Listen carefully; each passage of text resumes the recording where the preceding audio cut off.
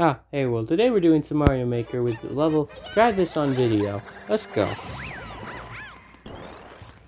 Okay. Mm-hmm. Mm-hmm.